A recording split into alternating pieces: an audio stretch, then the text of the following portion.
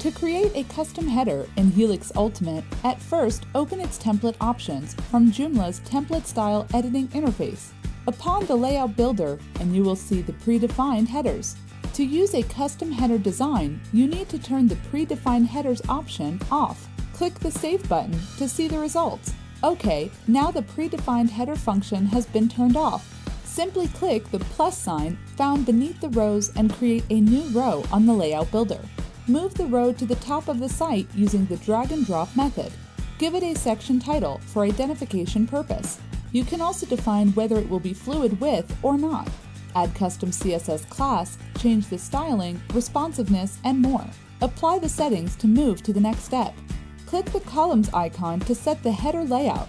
Choose one from predefined or set your own. The popular basic settings are 4 plus 8 or 3 plus 9.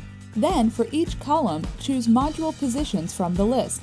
For instance, a logo for the first column and menu for the second column.